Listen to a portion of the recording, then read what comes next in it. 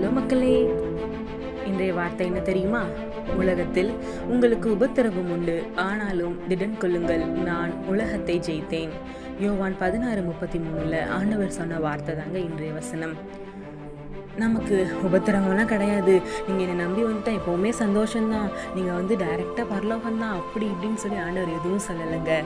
உபத்திரவம் கண்டிப்பாக இருக்குது அதுவும் அவரை தேடி. அவரை நாடி வந்த எல்லாருக்குமே கண்டிப்பாக இந்த உலகத்தில் உபத்திரவத்தின் பாதையில் தான் அவர் நம்மளை நடத்துவார்.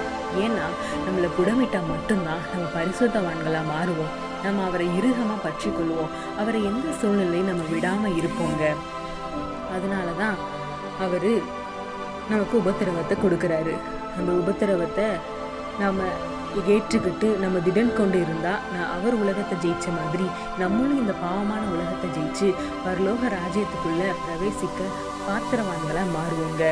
அவரும் இந்த உலகத்தில் வந்து பாடுகள் பட்டார். அவருக்கும் பிரச்சனைகள் வந்துச்சு. அவரையும் கஷ்டப்படுத்தினாங்க. அவரையும் சிலுவையில் அறைந்தாங்க. அதே பாடுகள் அவருடைய பிள்ளைகளான நமக்கும் வரும். அவர் ஜெயிச்சார்னா அப்போ நம்மளும் ஜெயிப்போம் தானே? கொஞ்சம் யோசிங்க. ஓகேவா? பாய் நாளைக்கு பார்க்கலாம்.